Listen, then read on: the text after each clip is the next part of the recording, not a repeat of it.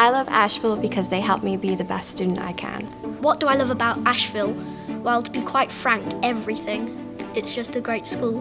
What I love about Ashville is that it feels like one big family. My favourite thing about Ashville College is definitely the teachers. My favourite thing about Ashville is the way that it sets you up to succeed and allows you to pursue what you want to do. I love Ashville because it's really welcoming. We can pursue what we're interested in and there's lots of options for everyone here. Ashville is honestly amazing for culture and community. One of the best things about Ashville for me is definitely the extracurriculars because there's so much to do that you don't learn as a lesson. So if you wanted to learn something new, you can learn it through an extracurricular. That's why I love Ashville because of the extracurricular activities we have to pick from. The favourite thing about Ashville is for me is probably all the nice community and all the friendships we have.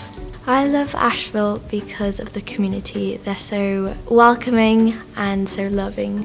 The best thing about Ashville is its diversity and how even though there's many different people of all ages and all different nationalities, everyone still works well together. The best thing about Ashville is definitely the whole shows they put on. I love making new friends because loads of people join the school, so I really like making new friends.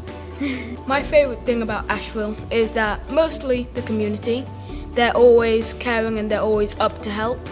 So ever if you're feeling down, they just normally ask if they can do anything to help you. My favourite thing about Ashville is probably the community and all the teachers because they're really supporting and everyone just kind of like wants to be your friend, so it's really nice.